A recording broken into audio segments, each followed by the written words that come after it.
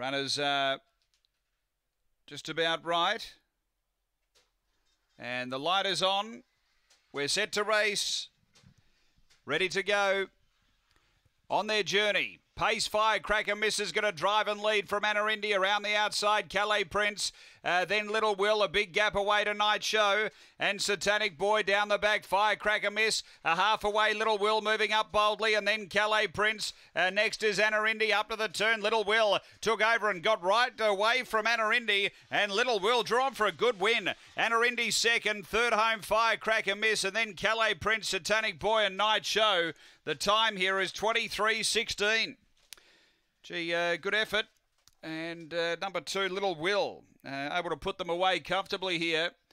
Uh, number two, uh, second, going to four, which is Anarindi for Gino Gregorovic. The winner, of course, trained by Lester Harris. And third to one, Firecracker Miss for Gary Pigeon.